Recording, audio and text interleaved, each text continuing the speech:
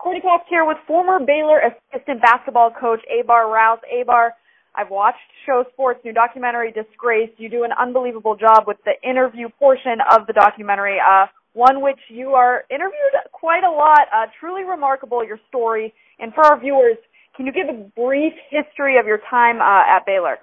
Well, Courtney, I was at Baylor as a student, as an undergrad in 95, 96, 96, 97. And then I went and began my coaching career, and I came back to Baylor in 2003. I had actually been on campus for probably about 12 days before, you know, all hell broke loose. Uh, that is, I couldn't put it any better myself. Uh, you watch the documentary, and as a viewer, it almost, it's almost too crazy that you think this must be fake, but this was your life. Uh, tell me about the exact moment when you realized you were caught up in a, in a pretty bad situation. Well, when Coach Bliss came in and uh, you know he he basically told us that he was looking for somebody to say that they paid Patrick Dennehy's tuition. Uh, I knew that the bottom had dropped out, but there were signals all along the way that uh, indicated to me that something was amiss. Something is kind of fishy here. You didn't have all the pieces, but you kept getting a piece by piece by piece. You couldn't put the whole puzzle together, but you you didn't feel good about it. Well, and I think as a viewer, I I started getting nervous for you. Uh, the part where you know you you get the the stack of papers that firing of assistant coach highlighted, and and that's when you get yourself a tape recorder and you start secretly taping Coach Bliss. Uh, did you ever think there was another way out, another way to get the situation fixed? Well, I honestly believe that he could say, given the fact that he was prepared to go to just about any length uh, to ensure that this story went through, I I felt like there was no other way for me to go and ensure that the truth remained. You know, either I could get it from the inside and and and stay where I was, or I could be an outsider and I'd be maybe getting accused.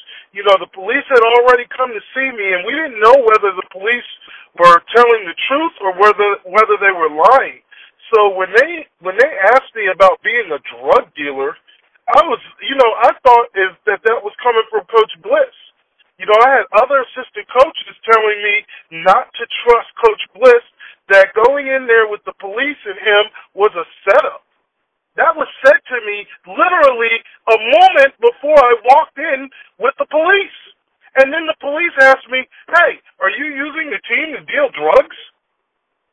That was literally said to me by a man that had been with Coach Bliss as an assistant at other schools. And I'd been there for 12 days, so I, I really didn't know, you know, another way to go to make sure that the truth prevailed. Well, and it it, it is crazy that watching the footage of, of Carlton Dotson, who says that you were doing that as well. Did you feel like you were, you know, alone in this situation? That kind of Baylor was against you in some way? Well, I didn't feel like Baylor was against me as much as I felt like I didn't know who to trust. Who could I put my faith in? Got my head coach saying that the police are with him and uh, they're on our side, and and uh, the committee is with me. The president was obviously with him. You know, he had given him a a big ringing endorsement at a press conference. You know, so the athletic director's with him. You know, so I, I didn't know. You know, I felt kind of alone and abandoned, kind of because it felt like everybody was you know, potentially in on it, and you're like, I, I don't want to be involved in this. I don't want to get involved in this. And then when coach directly makes you, he makes you, then you have no choice. You have no choice but to do what you have to do for not only yourself, but for your school and for your players. Well, and, and as a viewer, I, I mean, I think that what you did was extremely brave. I'm sure a lot of viewers will have that same feeling as well. But I, I think when I watched the documentary and put myself in your shoes, the hardest part to watch were legendary coaches like Jim Boeheim, Mike Krzyzewski, who kind of go against the fact that you did the right thing. How how do you handle that backlash, and, and does it ever get to you? The backlash from uh, Kelvin Sampson and and Jim Boeheim, uh, that's a little easier to to handle because those guys are NCAA convicted convicted felons themselves. So that's a little easy to handle. I'll tell you which one was hard was Coach K because he's my hero. Growing up, uh, we ran motion. I studied motion. I, all my basketball uh, uh, prowess came from this man who who was my hero, who I believe honestly would want me to do this, would want me to do the right thing. And so it was, you know, very, very disheartening to me to have him say the things that he said. But at the same time, I understand that in the coaching fraternity, which is a lot like the mafia at times, you know, those guys have history. They come from the Knight family together. So he's going to try to stick up for his brother. Well, I mean, the documentary it's it's basically two stories in one. You know, the terrible murder of Pat Dennehy and the scandal that was going on in the front office. Uh, do you have your own theory of of what happened with Pat? When you say what happened with Pat, what do you mean? Um, the fact that it, it kind of went that it was only Carlton who was there, who was responsible for the murder. But then you have Harvey um, also being interviewed in it, um, saying, you know, we never had problems, we never got into arguments, I was never threatening him. Do you think it was a sole person who was responsible for his death? I think there's a sole person that admitted to it. Um, you know, but the questions remain absolutely. You know, there were so many fishy things going on that we that I truly never got answers to. The questions that I still have. So to be able to say that I, you know, it was just one person, I just know one person admitted to it. Uh, do I think others uh, could have been involved? I do think that's a possibility. I know that there were other, you know, that there were we were told that other people were out there shooting guns with them at different times. Well, and, and, and in the documentary, you say that you were um, asked to drop Larry um, off at at a bus station. Do you ever do you go back to that all the time in your mind and think, oh my gosh, did, did I have somebody in my car who had just who had just been part of this horrible, horrible uh, murder? I do think about it all the time. You know, uh, at the time, it didn't seem like like a, a a big deal. It just it, it did seem like a big deal because they had asked about the gun, and I knew about that. But at the same time, I didn't know whether that was true or or not. So, you know, maybe they just want him to get out of town because they've they've had enough of him.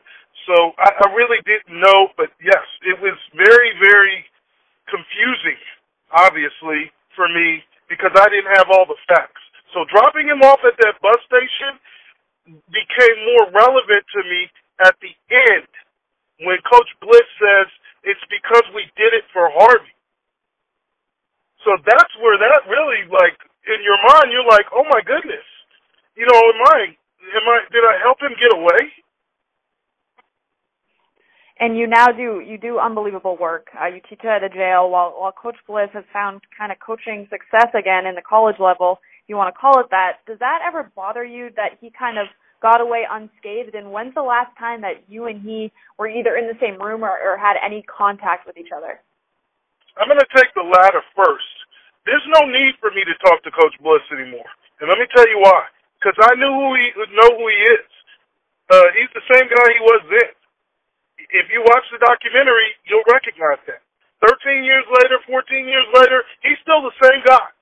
Nothing's changed. There wasn't a fall to grace. You had to be in grace to fall to grace. You, you, I'm just telling you, nothing's changed. So I, I don't need to speak to him. The the most disheartening thing about it is, yes, he's still coaching and, and mentoring young men, but it's disheartening that people can't find better leaders out there. You know, the most frustrating thing for me is I know I'm a I'm a leader. My experiences, challenges that I've overcome in my life and make me that. You know, the way that I've dealt with them, my character. You like to think that those are the type of things that parents want their kids around, that presidents want for their uh their the administrators want for their coaches, from their coaches. I don't know if that's necessarily true. That's the disheartening thing. Uh, when when you have proven that you can win, sometimes winning supersedes doing the right thing.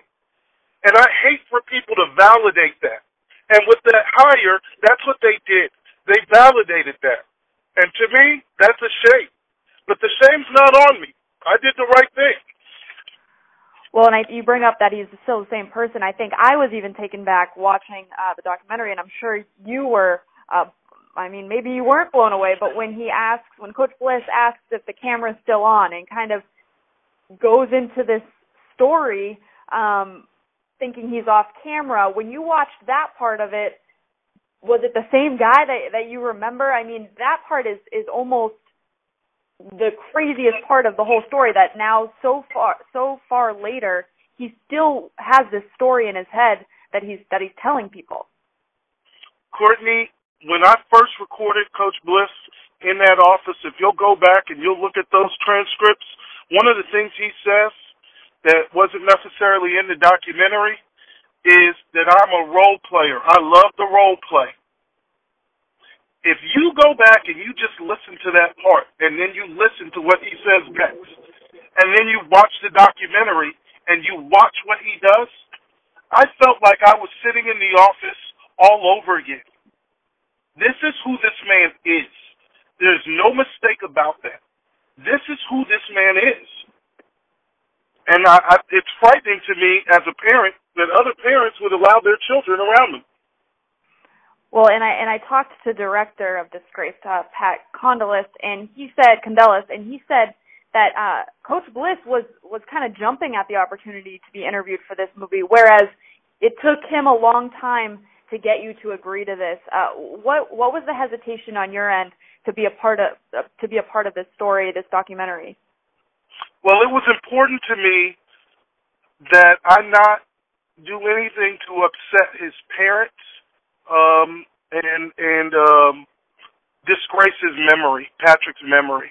You know, I, I I've spoken on the subject quite a bit, so I thought maybe I had said all that I needed to say.